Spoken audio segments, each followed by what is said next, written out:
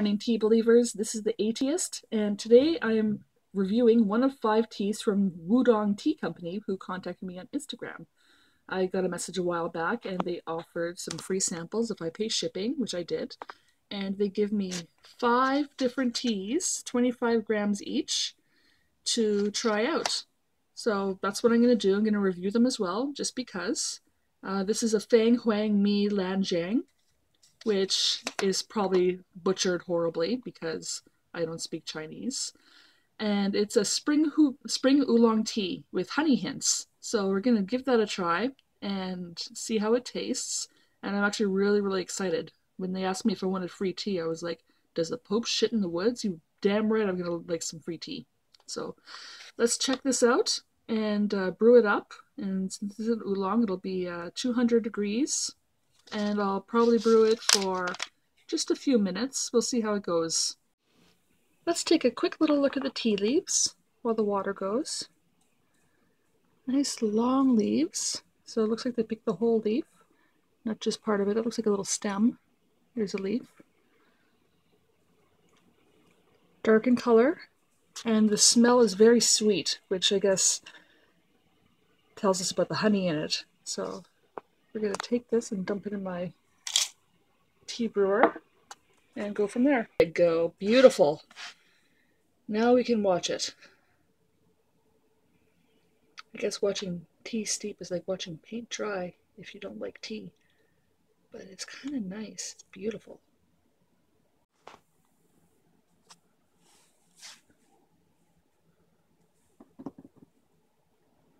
Oh, we got both of them now.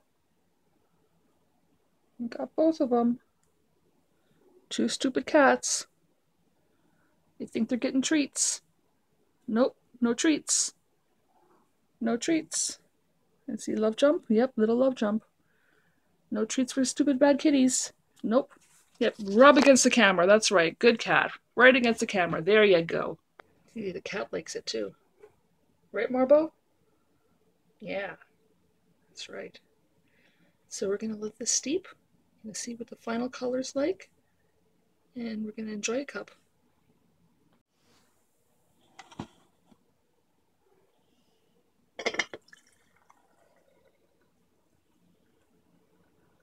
Look at that liquid gold.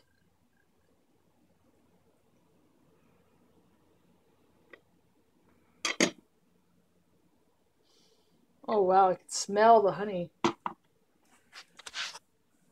Octopus approves. Do, do, do. Look at that. That is just terrific. Alright. We're going to do the tasting in a minute now. Apparently you can re-steep this bad boy, and I've been sitting here for the last five minutes for it to cool down. Just smelling it. It is really, really nice smelling tea. Uh, you can smell a little bit of orchid, you can smell the honey, you can smell a little bit of roastiness. And from what I've read about it, it supposedly has a different aftertaste than regular taste, like a very sharp contrast. So we'll see about that uh, when it's time to take the sip, which it is, and I will report back. Let's take a look. It smells nice.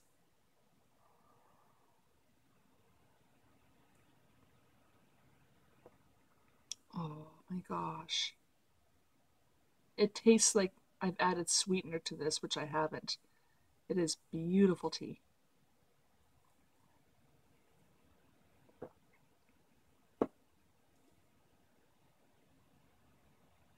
Getting the orchid, getting the honey.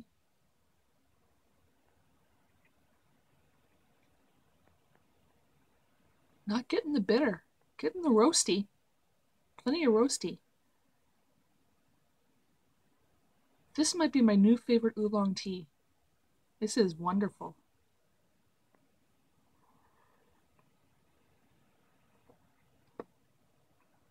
Oh, this is a winner. So I'm going to post the link to the tea in the comments.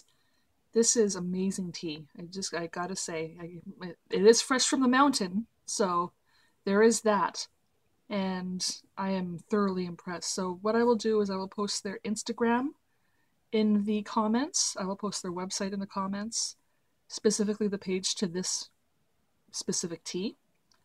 and I am going to just sit here and enjoy the fuck out of this. This is not teabag at all. Oh my god. So this is the Ateaeist saying steep, bleh, steep keeping. Yes, steep keeping.